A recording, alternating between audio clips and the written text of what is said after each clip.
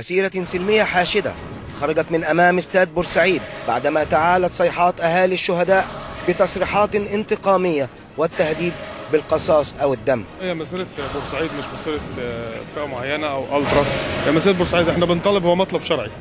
إحنا النهاردة ومطلب شرعي ومطلب أمني. النهارده إحنا بنقول إحنا قلنا من الأول القصاص القصاص من الناس فعلا اللي عملت كده. إحنا بنطالب بالقضاء العادل. حرام حرام حرام. رسالة للسيد وزير العدل. حرام النطق بالحكم. بيبقى في القاهرة.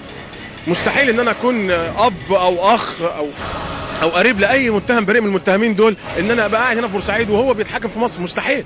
ولو سافرت يبقى أنتوا كده عايزين مصر تبقى شلالات دم.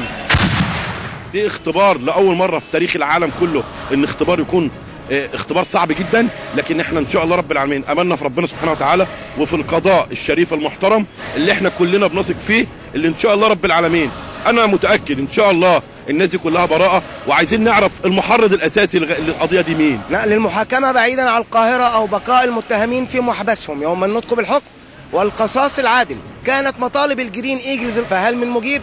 أشرف الدقاق كرة أونلاين.